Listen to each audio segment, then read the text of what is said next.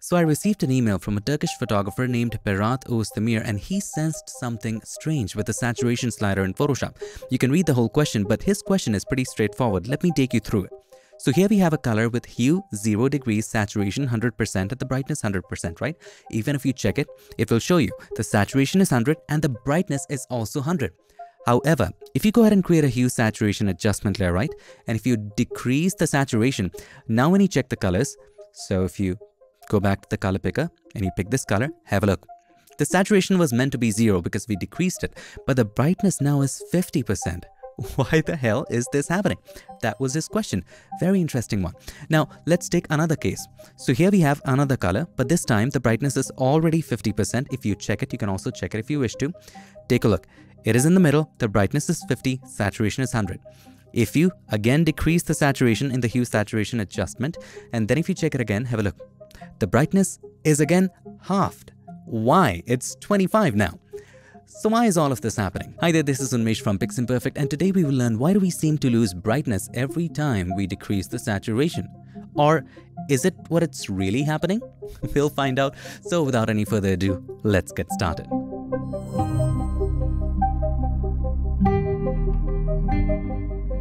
Back in the magical world of Photoshop and let's get straight to it. Why is this happening? Actually, the answer is it's not actually happening. Take a look at this. Whenever you're working with hue saturation, you're working with the hue saturation lightness, HSL color model. And if you're working with the color picker right here, you're working with the HSB color model. Both are similar, but they are absolutely not the same. Now, what is the difference between both of these color models? To understand it better, let's take a look at some easy diagrams. So on our left, we have a graphical representation of the HSL color model, and on our right, we have the HSB. In other words, it's also called HSV. It's the same thing. So to understand it better, we need to understand what does HSL stand for and what do they mean? All right, so H right here stands for hue. Now, what is hue? Hue just determines what color is it? All right. So every degree represents a color. So hue ranges from 0 to 360 degrees. So even if you look at the color picker, hue is same in both of the cases. In HSL and HSB or HSV, hue is the same. All right. So here we have a 0 degree. It is red. We take it up 112 degree. It is a shade of green, right? So hue determines what color is it. So every angle determines the hue right here. So all around the circle, are different values of hue. So let's say, let me take a brush right here so that it's easy for you to understand. So let's take a color. So let's say it's 2 degrees right here, it's 0 degree right here, and 45, and then we go ahead and increase it, right? And it gets back right here to 360 degrees. So that is why when you go ahead and choose the hue, 0 degree, and if you go at the very top, it goes to 360 and goes back to 0 because it comes in circle to the exact same position. So that's how hue is represented right here. Take a look at the arrow of the hue right here. As you change the angle, the color changes.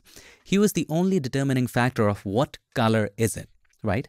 Saturation and lightness or saturation and brightness only modify that color. Think of it that way. Now, what does S stand for? You already know it, it's saturation. Now, saturation determines the intensity of color how much color there is. So once you have decided the hue, let's say I've decided the hue to be zero degrees, which is red, then you decide the saturation of how much of red do you want? The more the saturation, the more the intensity of the red you will have. Now, as you decrease the saturation, right here, take a look. It slowly and gradually becomes gray, right? Because the intensity of the color is being decreased and slowly and gradually the color is going away and it's turning gray grayscale, right? So all in all, in this diagram, you can clearly see that the center is neutral. As you move away from the center, have a look at the arrow of saturation. The saturation or the intensity of the color increases. So as you move towards the center, the saturation decreases. And finally, for HSL, lightness is very simple to explain. Lightness is simply adding white or black. That's all. The more the lightness, the more white you are adding, and finally, at the very top, it's absolutely white. The less the lightness, the more black you're adding. And finally, at the very low end, you have absolute black. That's all there is to it. So let's say you chose a dark bluish color where the intensity of the color is not that much. Where do you think that would be in this graph? Now keep in mind, we told dark blue. So it would have a lower lightness. Now lightness is determined from here to here, from bottom to top, right? So it would be somewhere around here. The lightness would be somewhere around here. Dark, it is bluish. So the hue would be somewhere around bluish, so that particular degree right here. And the saturation, it's not very saturated. Remember, we told you the color intensity is not that much. So it would be somewhere around right here, right? So understand how this works right now. If it doesn't make sense, please rewatch it. It is very important to understand before we move forward in explaining as to why this thing is happening. Now let's take a look at HSB or HSV. Brightness or value is basically the same thing. Now in here as well, the hue is around the angle. It's the same as HSL. The hue is the same. Similarly here as well, hue determines what color. So if you chose zero degrees, it would be red and you can go ahead and increase the degrees and it comes back to the same position. Saturation is the intensity of the color and here as well, if you move away from the center, the saturation increases. If you move towards the center, the saturation decreases and you reach neutral right here. Now, here we don't have lightness. This is the differentiating factor. Also, the saturation right here works a little differently. First of all, let's understand how brightness works. Now, brightness is like lightness, but the lowest value here is absolute black, right? And the highest value of brightness can be white and it can also be a color. But if you look at HSL, the lowest value is always black and the highest value is always white because we are adding white as we go up and adding black as we go down. But with HSB, it is a little different. As we go down, we definitely sure are adding black, but as we go up, look at the maximum value.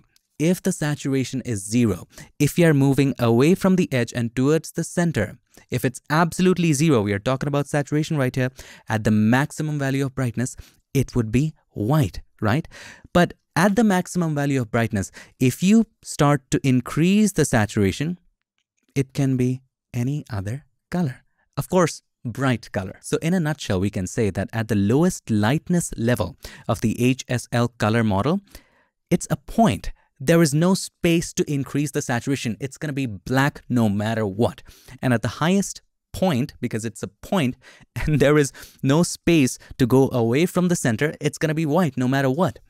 But this looks like half of the HSL. And that is why HSL is symmetric when it comes to lightness and darkness. And HSB is not. At the bottom, it will be black no matter what. There is no space for expansion in saturation dimension, but at the very top, there is an option for that. So I wanted to ask you one final time, is everything clear? If it is, let's move on. If it isn't, please rewatch it. It's very, very important, not only for this question, not only for this project, but many more future projects and works to come. All right, let's get to it. So let us say this is the HSL color model. Now, from bottom to top, what goes up? The lightness. So in the middle, let's draw a line and this stands for lightness. Now, as we move away from the center, what do we have? Saturation. And around in an angle, what does that stand for? Hue. So let's say we took this color, which is a bright saturated red with the most amount of colors. So if we pick that color, take a look. Bright red, most amount of color, it would be somewhere around, let's say right here, where the degree is zero. Now, if we do decrease the saturation using the HSL model, have a look, inside of hue saturation, we are using the HSL model. Now, if we decrease the saturation, what happens? It moves towards the center. So as it moves towards the center, it would be right over here if we decrease the saturation all the way to the left hand side. So now, what color is this? What do you think is this?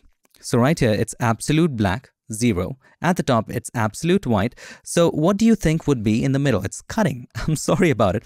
So what do you think would be in the middle? 50, right? And that explains it all. So if you decrease the saturation to the left-hand side, and if you try to pick this color, have a look. 50. That's why it is happening. Now, if you do use the HSB, here's what happens. So this is the HSB color model, okay? Now, from bottom to top, brightness. From center to outwards, we have saturation, and around we have hue in different angles. So it's the same color we pick right here. And if we decrease the saturation using HSB, here's what happens. It is at this point, and this point is what? Absolute white, and this point is absolute black. In other words, zero. In other words, 100. So now if you go inside of color picker and pick this red, and if you do decrease the saturation, have a look. Brightness is at 100 and it's absolute white. Make sense, right? Let's take a look at case number two. In case number two, we pick a color which is between the most saturated red, the color which has the most amount of color in it, and black, right? So in HSL, this is HSL, and this is HSB, just to make it clear, in HSL, that color would be between this point and this point. So it would be somewhere around right here. Now in this case, if we do decrease the saturation, it will move towards the center at this point, right? And what do you think would be this point? This is 0, this would be 25, this is 50, this is 75. So that is why when we do decrease the saturation and if we do try to pick the color, have a look, 25. However, in HSB or HSV, that color would be somewhere around right here. And if you do decrease the saturation, it moves towards the center. And what is this point, do you think? This is 0, this is 50, this is 100. So this position would be 50. So if you look at the color picker, and then if you choose that color, which is which was in the middle, so let's choose the middle color. And then if you do decrease the saturation, have a look. It's 50, 50% gray, it all makes sense right now? Let us do a quick little recap. The basic difference between HSL and HSB color model is this. If you focus on the saturation component, in HSL, the saturation ranges from color to its equivalent gray. All right. So if it's a brighter color, and if it's right here, if you decrease the saturation all the way to the left hand side, it will result in its equivalent gray right? So it would be a brighter gray if you pick this color. It would be 50% gray if you pick this color. It would be a little darker gray if you pick this color, right? But in HSB, if the brightness value or brightness, so if that is at 100%, if it's at its highest, and the saturation is zero, it would be white. It won't be its equivalent gray. It would be white. The second major difference is this. The HSL color model is symmetrical. It spans the entire range from absolute black to the hue of your choice. So let's say you chose green or blue to the hue of your choice to absolute white, right? So it goes from black to white, okay? Or white to black, however you want to call it okay? It goes from black to your chosen hue. If the saturation is zero, it would be gray, and then to absolute white. However, HSB is not symmetrical. It goes from black to, it can be white if the saturation is zero, or it can be any other bright color if the saturation is not zero. So all in all for HSB, it goes from black to the chosen hue where the saturation determines whether it's going to be white or not. I hope all of this made sense. If you want to learn more about it, I highly recommend this website called colorizer.org, org, however you pronounce it. Here you can play with HSL, HSB, HSV, CMYK and see how the colors are affected here and there. So as you're playing with HSL, see how HSB is being affected. And if you scroll down, they have all the models that we discussed and I used this website as a research as well for this lesson. So all of the differences, the explanation, everything is right here. You can use it as your study material. I hope you enjoyed this video and I hope you learned something new. And by the way, if you want a dedicated video about the differences between HSB and HSL or differences between brightness and lightness, please let me know in the comments down below. I would love to create a video about it. Thank you so very much for watching. I would like to take this moment to thank all these nice and amazing people for supporting Piximperfect on Patreon and helping keep Piximperfect free for everybody forever. Thanks so much again for your time. I'll see you in my next one. Till then, stay tuned and make sure that you keep creating. What can I do?